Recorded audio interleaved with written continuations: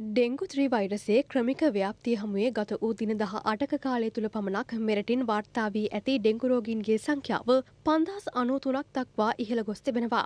බසරේ ගත වූ මාස කිහිපේ තුළ පමණක් ඩෙංගුරෝගීන් තිස් හතර දහස් අටසිය එක් දෙනෙකු වාර්තා වී ඇති බවයි ඩෙංගු මර්ධන ඒකගේ අධ්‍යක්ෂ විශේෂඥ වෛද්‍ය නලින් ආරීරත්න ප්‍රකාශ කළේ. වාර්තාාවී ඇති ඩෙංගු මරණ සංඛ්‍යාව විසි දෙක. රට තුළ පවතින ඩෙංගු වසංගත තත්ත්වය හමුවේ NSAID ඖෂධ කාණ්ඩයට අයත් වේදනානාශක භාවිත කිරීම හේතුවෙන් මරණ කිහිපයක් වාර්තාාවී තිබෙනවා. සෞඛ්‍ය ප්‍රවර්ධන කාර්යංශය නිවේදනය කළේ තද උන සහ අධික ඇඟපත වේදනාව මෙන්ම හිසේ කැක්කුම සඳහා ප්‍රතිකාරයක් ලෙස ජනතාව මෙම ඖෂධ භාවිතයට යොමුව ඇති බවයි.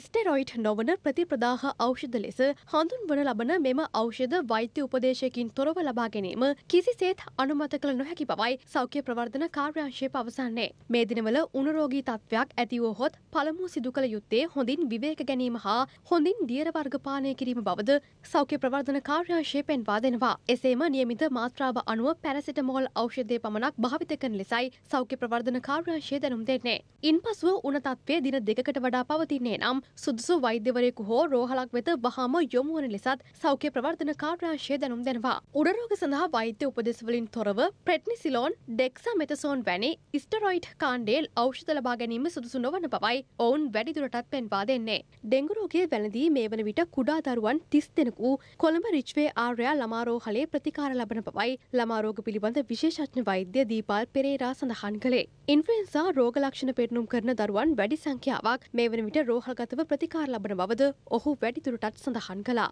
මේ අතර හැටන් නගර සභා බල ප්‍රදේශයේ දිනපතා බැහැර කරන කැලිකසල නගර සභාවේ සේවකින් විසින් හැටන් නගර සභාවට අයත් ඉඩමක අවිතිමත් ලෙස බැහැර කිරීම හේතුවෙන් මදුරු කීටයින් බෝවීමේ දැඩි අවධානමක් පවතින බව ප්‍රදේශවාසීන් පවසනවා.